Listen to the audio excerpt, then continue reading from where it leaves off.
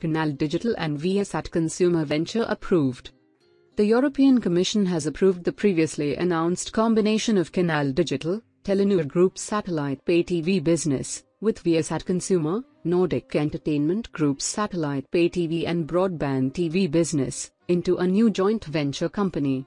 Telenor Group and Nordic Entertainment Group will each hold 50% of the shares of the new company.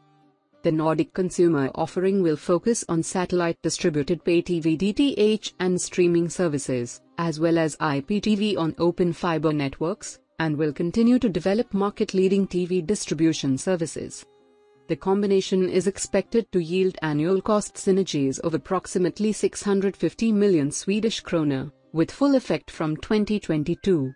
Integration and other related costs are expected to total approximately 900 million Swedish krona. NENT Group and Telenor will provide a suite of services to the joint venture, including transponder capacity and technology, content and streaming services.